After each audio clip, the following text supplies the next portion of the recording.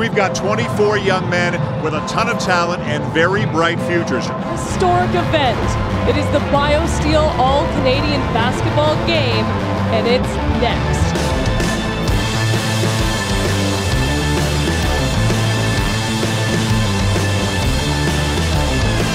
Murray the scoop, yes!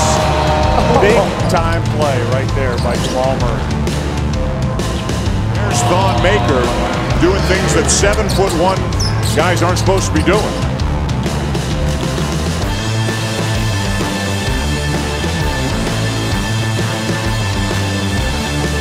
Finish the lob for DeRozier, the assist to Murray.